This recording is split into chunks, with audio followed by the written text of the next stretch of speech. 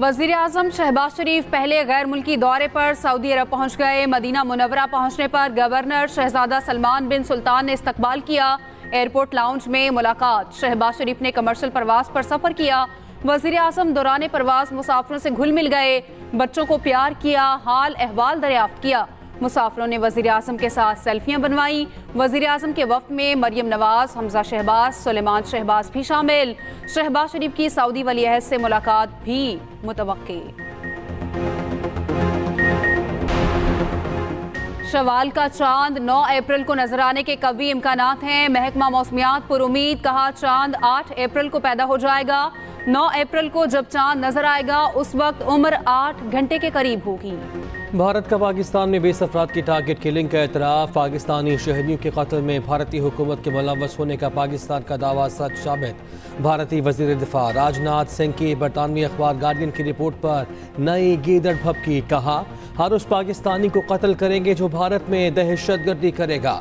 मोदी सरकार की यही पॉलिसी है, कोई दहशत गर्द पाकिस्तान भाग जाता है तो उसे वहाँ भी मार डालेंगे। इससे पहले कनाडा और अमरीका भी अपने शहरियों के कत्ल का मामला भारत के साथ उठा चुके।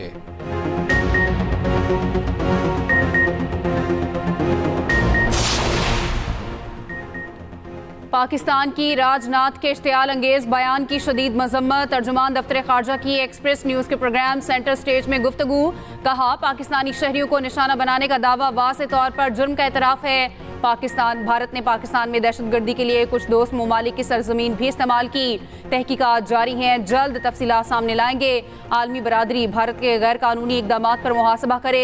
उधर वज़ीर दिफा ख्वाजा आसिफ कहते हैं, राजनाथ इलेक्शन मुहिम की वजह से बढ़ के मार रहे हैं। भारत में बरह रास्त हमला करने की ज़रूरत नहीं।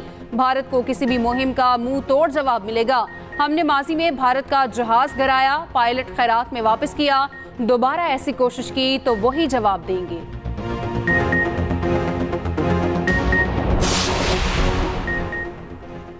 पाक धरती को दुश्मन अनासर से पाक करने का मिशन सिक्योरिटी फोर्सेज ने बारह दहशत गर्द जहनुम वासिल कर दिए।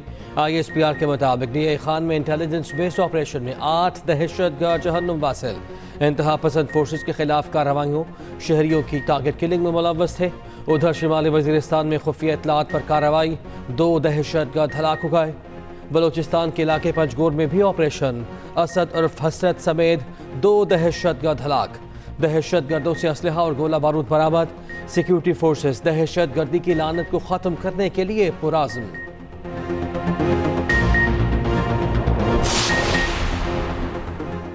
शाम में चीनी बाशिंदों की हलाकत, पाँच अफसरों के खिलाफ action. RPO Hazara, DPO upper और लोअर कोहिस्तान के खिलाफ कार्रवाई का हुक्म। कमांडेंट स्पेशल सिक्योरिटी यूनिट के P, director Dasu security power project के खिलाफ कार्रवाई का ऐलान। अफसरान पर चीनी इंजीनियर्स की सिक्योरिटी में गफलत का इल्ज़ाम। वफाकी वज़ीर इतलात अता तारड़ की न्यूज़ कॉन्फ्रेंस, कहा चीनियों की सिक्योरिटी को इंतहाई संजीदगी से लिया जा रहा है।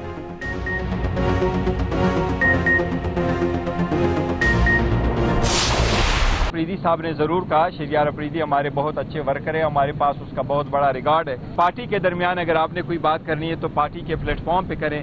आउटसाइड कहने की ज़रूरत नहीं है। शरियार अफरीदी साहब ने जो बात की है, जिस कैंडिडेट के लिए आवाज़ उठाई है, वो हम हर वर्ग में तायद करता हूँ। उसने दुरुस्त बात की है। फॉरम दिशान का नाम ड्राप किया जाना, यह खान के फैसले की तवीन है। पी टी आई के अख्तिलाफ़ खुलकर सामने आने लगे। शहरियार अफरीदी की कोहाट जलसे में पार्टी क्यादत को धमकी, कहा, पार्टी के अंदर कुछ मुनाफिक और आस्तीन के सांप मौजूद हैं। चंद लोगों को पैगाम देना चाहता हूँ कि मुझे फटने पर मजबूर न करें। पार्टी में पैराशूट से आए हुए लोगों को मुस्तरद करते हैं। पीठ में छुरे घोंपने वालों को फिर से गले लगाने नहीं देंगे। उधर बैरिस्टर गोहर बोले, शहरियार अफरीदी ने जो कहना है, पार्टी के अंदर कहे, सबके सामने नहीं। अगर कोई किसी से मिला हुआ है तो इसका कलम नहीं। शेर अफजल मरवत बैरिस्टर गोहर के सामने ही फट पड़े। शहरियार अफरीदी के बयान की खुलकर हिमायत कर दी, कहा, खुरम जिशान को सेनेट का टिकट ना देकर बानी पीटीआई के फैसले की तोहन की गई।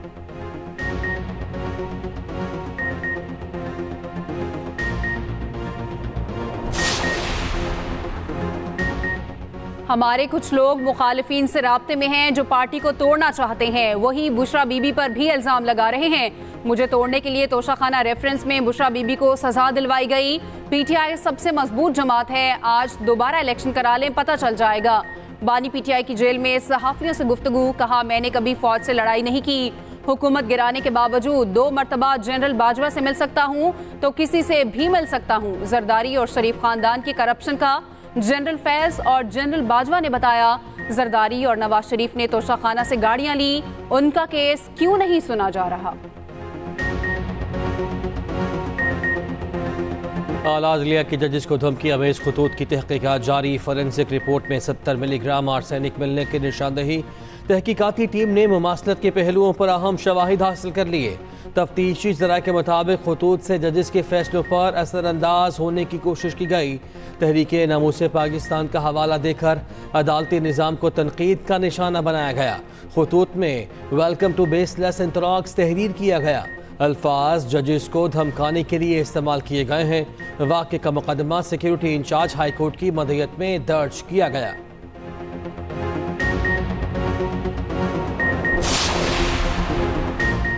वज़ीर अला मरियम नवाज़ की कच्ची आबादियों को L D A development plan में शामिल करने की हिदायत। मरियम नवाज़ की जेर सदारत एल डी ए प्रोजेक्ट्स का जायजा इजलास। एल डी एवेन्यू वन में पायलट डेवलपमेंट प्रोजेक्ट की असूली मंजूरी। मरियम नवाज़ ने कहा, रेडी बानों के लिए वेंडिंग पॉइंट्स बनाए जाएँ। किसी की रेडी ना छीने, उधर पंजाब में 300 ग्राउंड और स्पोर्ट्स कॉम्प्लेक्स बनाने का आज़म। स्पोर्ट्स एंडोवमेंट फंड बढ़ाकर दो से चार अरब रुपए कर दिया। वज़ीर अला पंजाब मरियम नवाज़ ने कहा, खेलों का आलमी दिन मनाने का मकसद दुनिया में अमन का फरोग है। खेल हमें नज्मो, जब्त सिखाते हैं।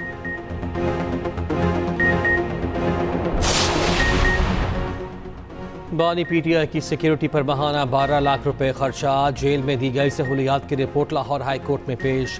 कहा गया, जेल में सिक्योरिटी कैमरों पर पाँच लाख रुपए खर्च होते हैं। बानी पीटीआई के लिए पंद्रह एहलकार तैनात हैं जिनमें से दो अफसरान हैं। बानी पीटीआई को सात सेल्स पर मुश्तमिल सिक्योरिटी वार्ड में रखा गया। जिनमें से दो सेल बानी पीटीआई के ज़रिए इस्तेमाल हैं। कोई भी शख्स बगैर इजाज़त बानी पीटीआई के सेल तक नहीं पहुँच सकता। बानी पीटीआई को सेहत बख्श खाना दिया जाता है, जो स्पेशल किचन से बनता है। खाना असिस्टेंट सुप्रिटेंडेंट जेल की निगरानी में तैयार होता है।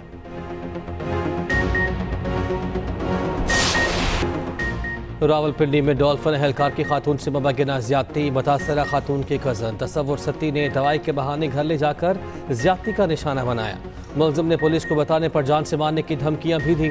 खातून अलीपुर इस्लामाबाद की रिहायशी है, मुकदमा दर्ज। वज़ीर अला पंजाब मरियम नवाज़ का नोटिस।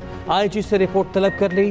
कहा, खातन के खिलाफ किसी किस्म का तशद बर्दाश्त नहीं किया जाएगा।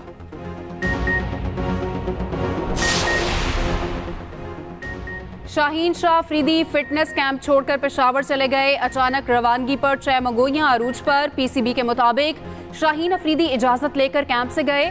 पीर को रावलपिंडी में शेड्यूल इफ्तार डिनर में शरीक होंगे। इफ्तार डिनर में पीसीबी चेयरमैन मोहसिन नकवी भी मदू उधर काकुल अकेडमी में कौमी टीम का फिटनेस कैंप खत्म।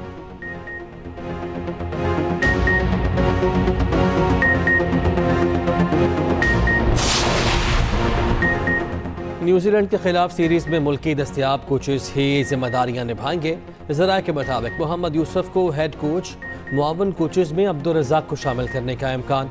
उधर कौमी टीम के हेड कोच के लिए गेरी क्रिस्टन से मामला तय।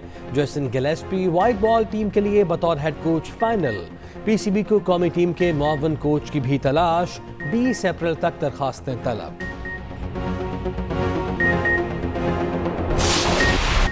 वक्त कम, मुकाबला सख्त। ईद से कबल आखिरी वीकेंड। मार्केटों में खिड़की तोड़ रश। ईद की शॉपिंग के लिए वक्त कम रह गया। कपड़ों की तैयारी मुकम्मल। जूते भी खरीद लिए गए। चूड़ियों, ज्वेलरी और मेहंदी की तलाश जारी। खवतान ने ब्यूटी पार्लर्स की बुकिंग करा ली। मर्दों ने सेलॉन्स का रुख कर लिया।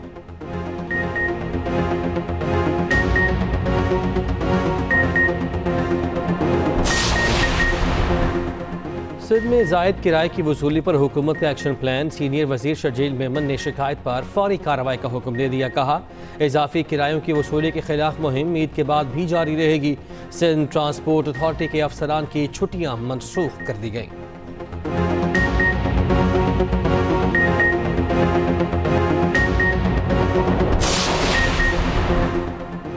कपड़े सिलाई करने से इनकार करना जुर्म बन गया। मेलसी में चार अफराद का दर्जी आसिफ पर तशद लोहे के रॉड से मार मार कर जख्मी कर दिया। अस्पताल मुंतकिल। डीपीओ विहाड़ी का नोटिस, मुकदमा दर्ज। मुलजिमान की गिरफ्तारी के लिए छापे।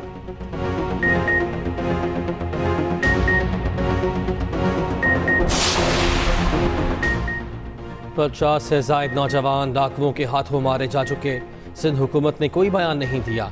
एम के रहनुमा खालिद मकबूल सदीकी की मीडिया से गुफ्तु बोले, पाकिस्तान की मीशत कराची से चलती है। इस शहर को दूसरों के आसरे पर छोड़ दिया गया। मोहसिन नकवी हर जगह जा रहे हैं तो कराची का दौरा भी करना चाहिए। मुस्तफ़ा कमाल ने कहा कि रियासत अपना काम नहीं कर रही। हम इमदाद लेने वालों को इमदाद देने वाला बनाना चाहते हैं।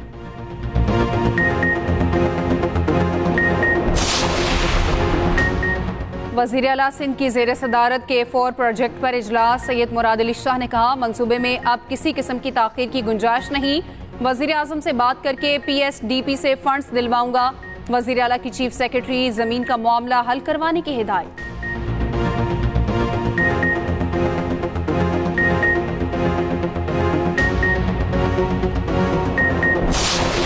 तंदुरुस्ती हज़ार नेमत है। पाकिस्तान समेत दुनिया भर में आज सेहत का दिन मनाया जा रहा है।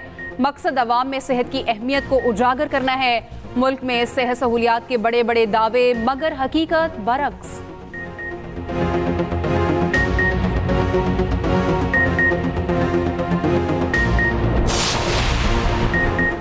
लाहौरियों के लिए खुशखबरी, ईद पर सफारी जू में दाखिला मुफ़्त होगा। सीनियर सूबाई वज़ीर मरियम औरंगज़ेब का लाहौर सफारी पार्क का दौरा।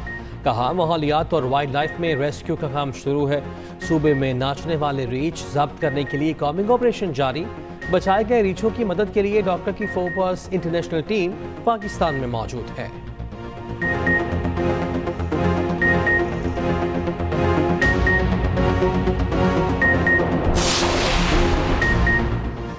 पीस थ्रू स्पोर्ट्स डे पर सॉफ्ट बॉल फेडरेशन के तहत कराची में तकरीब ओलंपियन सलाहुद्दीन रौनक लाखानी आसिफ अजीम, फराज सईद की शिरकत। Chairperson special Olympic Pakistan Raunaq Lakhani ने कहा, पाकिस्तानी खेलों से प्यार करने वाली कौम है, खेलों के ज़रिए अमन के पैगाम को पूरी दुनिया में आम करना है।